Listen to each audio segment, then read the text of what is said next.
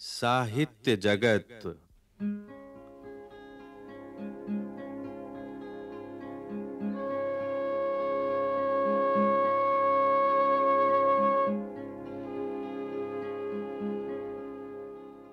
राष्ट्रीय शैक्षिक अनुसंधान और प्रशिक्षण परिषद के केंद्रीय शैक्षिक प्रौद्योगिकी संस्थान द्वारा प्रस्तुत है कक्षा 12 के लिए विश्वनाथ त्रिपाठी द्वारा लिखित ऐच्छिक हिंदी की पाठ्य पुस्तक हिंदी साहित्य का इतिहास, सामान्य परिचय में संकलित पाठों पर आधारित श्रृंखला, साहित्य जगत।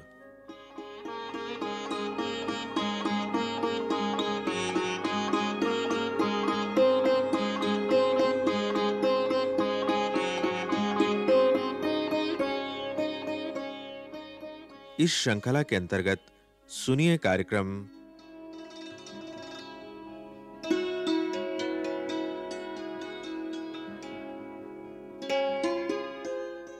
आधुनिक काल के अंतर्गत, स्वातंत्र्योत्तर युग में अन्य गद्य विधाएँ रिपोर्टाज आत्मकथा और जीवनी, रेखाचित्र, संस्मरण, यात्रा वृत्तांत।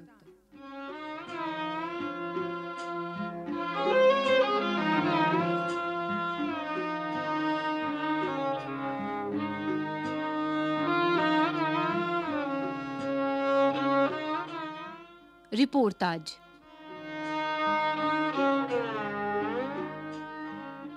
द्वितीय विश्व युद्ध के दौरान रांगेय राघव ने अकाल पीड़ित बंगाल का दौरा करके तूफानों के बीच नामक रिपोर्टाज लिखा।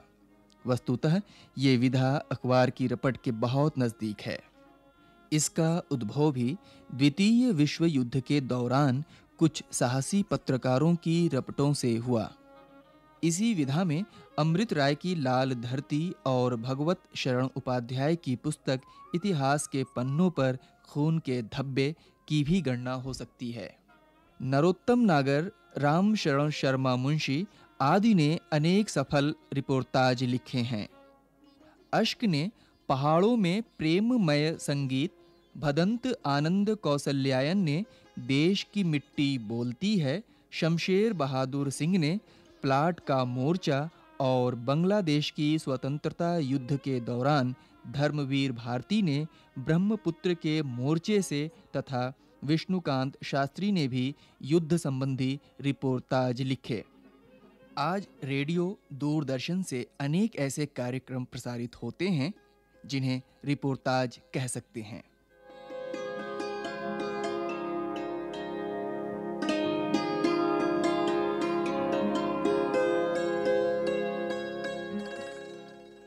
आत्मकथा और जीवनी।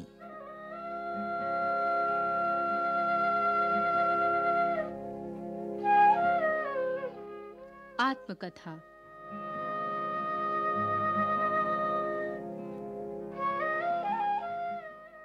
हिंदी में अकबर कालीन जैन कवि बनारसी दास ने ही अर्ध कथानक नाम से आत्मकथा लिखी थी।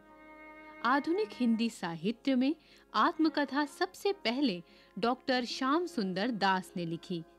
गांधी जी ने अपनी आत्मकथा मूलतः गुजराती में और नेहरू जी ने अंग्रेज़ी में लिखी थी। डॉक्टर राजेंद्र प्रसाद ने अपनी आत्मकथा हिंदी में लिखी।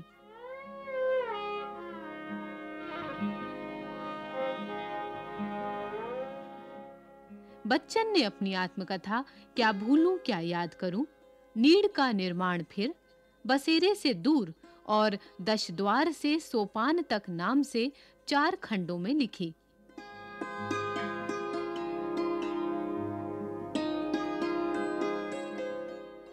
राहुल जी ने मेरी जीवन यात्रा नाम से अनेक खंडों में आत्मकथा लिखी।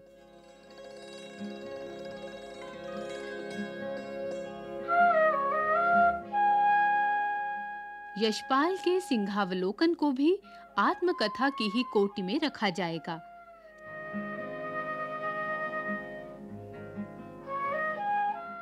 सेठ गोविंद दास की आत्मकथा भी उल्लेखनीय है।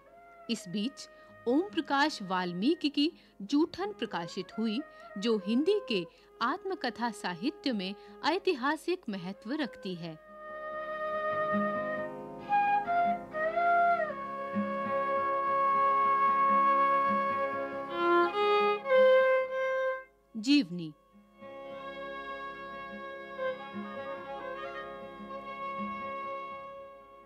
आधुनिक हिंदी साहित्य में भारतेंदु की जीवनी ब्रज रत्न दास ने लिखी। फिर प्राचीन महापुरुषों और प्रेरणाप्रद व्यक्तियों की अनेक जीवनियाँ लिखी गईं। स्वतंत्रता के उपरांत जो उल्लेखनीय जीवनी साहित्य हिंदी में लिखा गया, उसमें चंद्रशेखर शुक्ल का, रामचंद्र शुक्ल, डॉक्टर रामविलास शर्मा का, निराला की साहित्य साधना, तीसरा खंड अमृत राय का प्रेमचंद कलम का सिपाही, विष्णु प्रभाकर का आवारा मसीहा, विष्णु चंद्र शर्मा द्वारा लिखित मुक्तिबोध की आत्मकथा प्रसिद्ध हैं।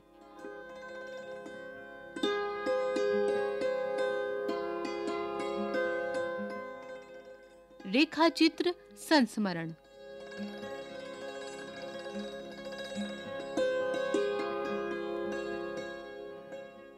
रेखाचित्र और संस्मरण भी आधुनिक गद्य विधाएँ हैं। हिंदी रेखाचित्र साहित्य में महादेवी वर्मा का नाम सर्वप्रथम उल्लेखनीय है। 1947 ईस्वी में स्मृति की रेखाएँ प्रकाशित हुआ, जिसमें संस्मरण और रेखाचित्र दोनों हैं। इसके पूर्व 1941 ईस्वी में उनका अतीत के चलचित्र प्रकाशित हो चुका था। महादेवी जी ने उपेक्षित एवं शोषित व्यक्तियों और पशु पक्षियों को संस्मरणात्मक रेखाचित्रों में अपार ममता दी है। इनसे महादेवी जी का भी व्यक्तित्व उजागर होता है।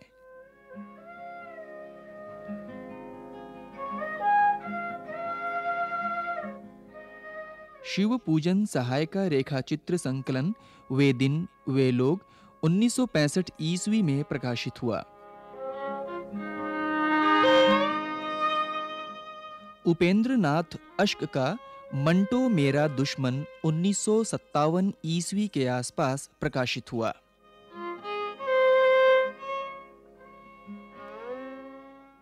संस्मरण लिखने वालों में प्रसिद्ध पत्रकार पंडित बनारसी दास चतुर्वेदी का स्थान भी महत्वपूर्ण है। उन्होंने स्वतंत्रता आंदोलन के शहीदों, नेताओं एवं साहित्यकारों पर प्रेरक संस्मरण लिखे।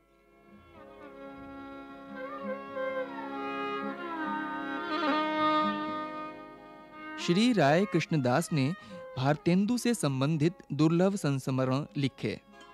राम वृक्ष बेनीपुरी के कुछ अविस्मरणीय संस्मरण माटी की मूर्तें में संकलित हैं।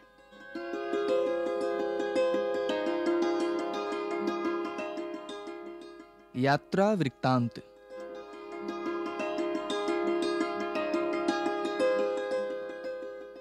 इस युग में लेखकों ने अनेक यात्रा वृतांत लिखे। आधुनिक युग में इसका भी प्रवर्तन भारतेंदु ने किया था। प्रमुख यात्रा वृतांत लेखक और उनकी कृतियाँ इस प्रकार हैं।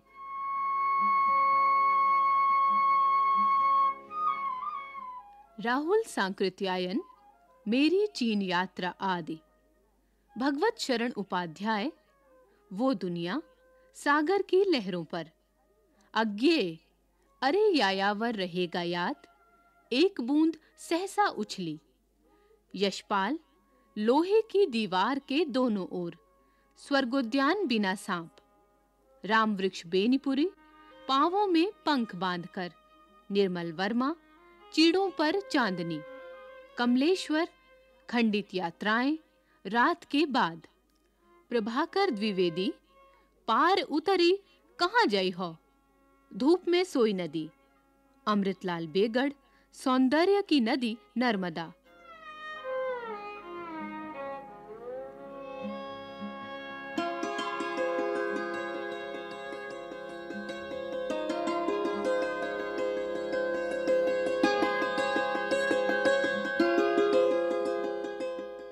आधुनिक काल के अंतर्गत, स्वातंत्र्योत्तर युग में अन्य गद्य विधाएँ रिपोर्टाज, आत्मकथा और जीवनी, रेखाचित्र, संस्मरण, यात्रा वृत्तांत।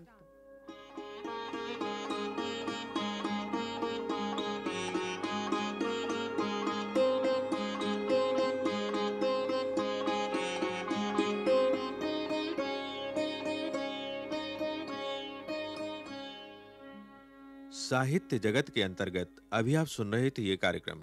विशेष संयोजन डॉक्टर संध्या सिंह, डॉक्टर चंद्रा सदायत एवं लालचंद राम, आलेख विश्वनाथ त्रिपाठी, वाचन स्वर के चंदन और सुनीता चौहान, कार्यकारी निर्माण प्रभुदयाल खट्टर, ध्वनियांकन सतीश लाडे और दीपक पांडे, निर्माण सहयोग दाऊदयाल चतुर्वेदी तथा निर्माण एवं प्रस्तुति वंदना अरिमर्दन।